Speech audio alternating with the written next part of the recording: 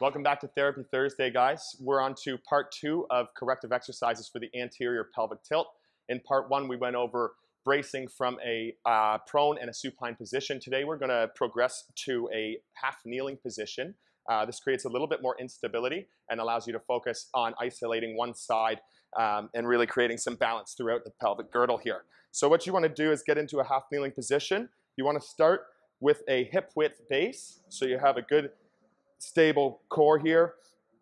From here, I'll show you from the side, you're just going to focus on that same movement. You can see that I have a little extension through the back.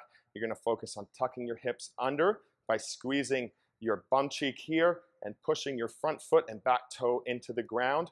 You wanna squeeze and hold for about 10 seconds, and then you're gonna relax and repeat. So you wanna try and really focus on keeping the movement in the hips. You can see there's no wavering through my upper body. I'm not changing my body angle. It's all coming through the pelvis. If you wanna progress this exercise, you can try and make it a little more dynamic by actually standing up to your feet. So what you wanna do for that is find the exact same position, engage your glute, feel that stretch coming through your psoas, push your front foot through the floor, extend both legs. You wanna lock out, and then slowly come all the way back down.